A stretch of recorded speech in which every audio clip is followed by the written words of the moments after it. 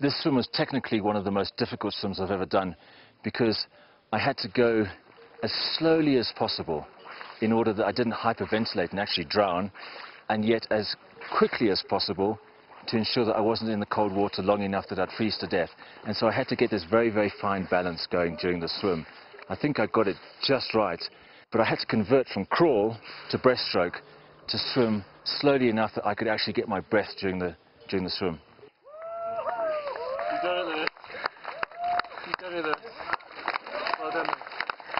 done. Well done, Lewis.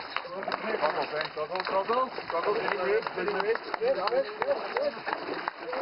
Yay! Well done, Well done, Lewis. Good work. Good.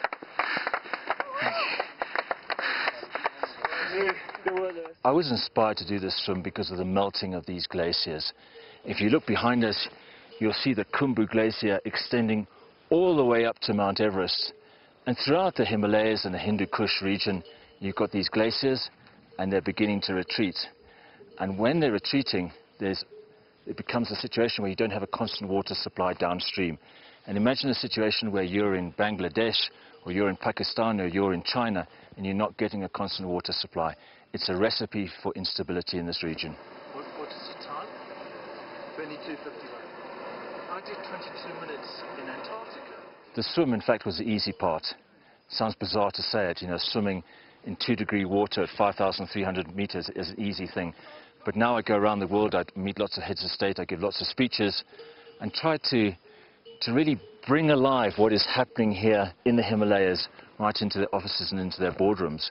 Because what happens here is going to impact every single person around the world We need to come to terms with the fact that we live now in a global environment, and that what happens here or in the Arctic will impact every single person. I congratulate you on behalf of uh, the people here, the people of Nepal.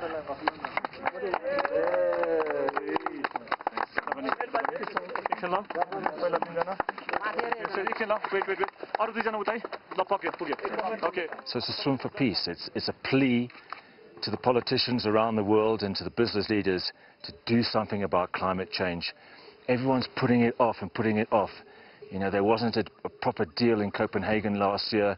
I already hear environmental ministers talking about what's going to be happening in Mexico and, you know, we won't get a deal there and perhaps you can try to get a deal in South Africa in two years' time. It's ridiculous.